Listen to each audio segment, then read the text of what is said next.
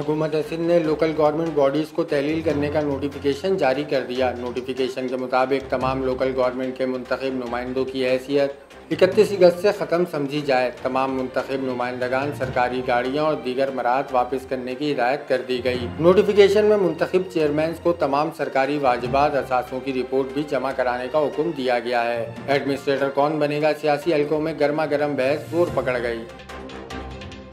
बल्दियाती निज़ाम के खात्मे के साथ ही इलेक्शन कमीशन हरकत में आ गई। नई हल्का बंदियों का ऐलान कर दिया। इलेक्शन कमीशन के जेर निगरानी नई बल्दियाती हल्का बंदियों के बाद ही बल्दियाती इलेक्शन का इनका होगा। हल्का बंदियाँ नौ से बाईस सितंबर तक मुकम्मल कर ली जाएँगी। छब्बीस सितंबर तक यूनियन कौंसिल, यूनियन कमेटियों वार्ड में हल्का बंदियों की लिस्टें आवेजा करके इलेक्शन शेड्यूल का ऐलान किया जाएगा।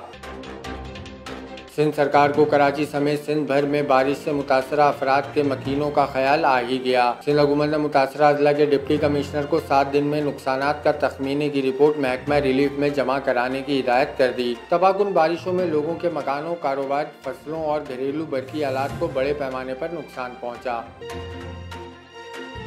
कराची में बरसाती पानी की अदम नकासी पर परेशान डिफेंस और क्लिफ्टन के मकीनों ने कंटोनमेंट बोर्ड क्लिफ्टन के दफ्तर के बाहर एहतजाज किया। पुलिस ने मुजाहरीन को मुंतशिर करने के लिए लाठीचार्ज का इस्तेमाल किया। मुजाहरीन की क्लिफ्टन कंटोनमेंट बोर्ड के खिलाफ नारेबाजी।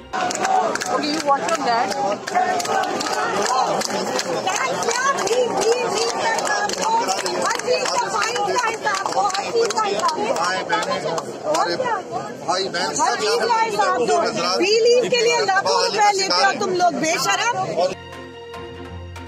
Orangi town Madina colony sector 11 UC 25 में पहाड़ी तोता मकान पर गिर गया। तोता गिरने से मकान मुकम्मल तौर पर मुनाजम। कोई जानी नुकसान नहीं हुआ। मुतासरीन की सिंध हुकूमत से मदद की अपील।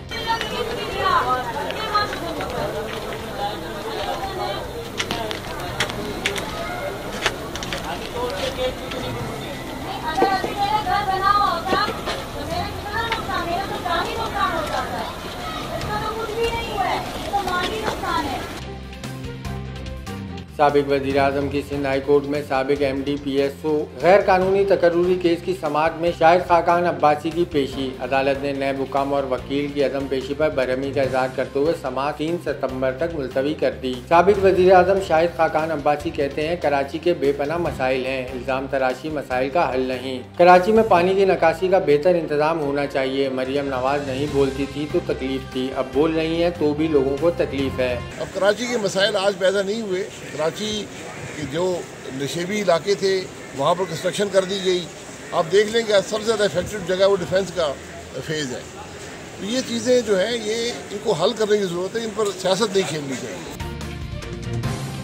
लियारी चील चौक के करीब गोदामों में लगी खौफनाक आग पर काबू पा लिया गया। आती से चार गोदाम जलकर खाकतर हो गए। सौ से ज़्यादा गोदामों को जलने से बचा लिया गया। आती से लाखों रुपए का नुकसान हुआ। चीफ फायर ऑफिसर के मुताबिक आग लगने की वजूहत का तयन न हो सका।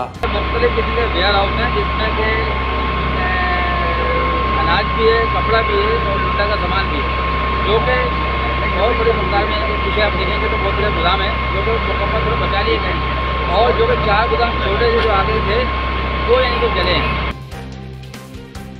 कराची में लेडी डॉक्टर का कत्ल। मकतूला महा शाह के वालिद ने प्रेस कॉन्फ्रेंस में अहम इंकशाफात कर दिए। आसिफ शाह कहते हैं, इंसाफ ना मिला तो हर दर पर जाऊँगा। बरसात और मुहर्रम की वजह से खामोश था। मुकदमे में नामजद जुनेद के इंटरव्यू चल रहे हैं, जिसका एक मुनजम गैंग है। इनका काम सिर्फ़ तालीमी इदारों में लड़के लड़कियों को मंशियात फराम करके इनको ट्रैप करना है। और मेरी बेटी को भी इन्होंने ट्रैप किया। किसी चीज़ का नहीं है ये शौक कि वो अरेस्ट हो। मुझे कोई शौक नहीं है। ये मेरी बेटी मैं बार बार कह रहा हूँ, चली गई। खुदा के वास्ते दूसरों की बच्चियाँ इनसे बचाएँ। ये एक जुनेद नहीं, ऐसे बहुत से हैं यहाँ पे। और डिफेंस या यहाँ क्या सिर्फ़ ये नहीं, पूरा पाकिस्तान ऐसों से भरा हुआ है।